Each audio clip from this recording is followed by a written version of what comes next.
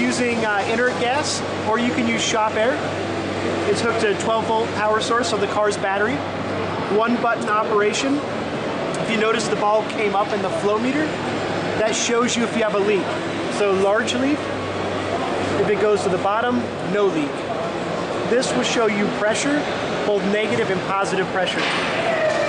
So once the smoke starts to go, you can start to see it.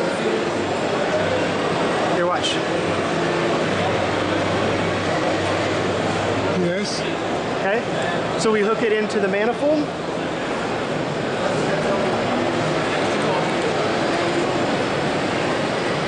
And you can see it start to exit here, but there's so there's so much smoke it gets hard to see. All right. So here, Must come out. yeah, come, come, come. so what we'll do is we'll use this right here. We'll dial that down. So that's about right here. Now look. And you see that?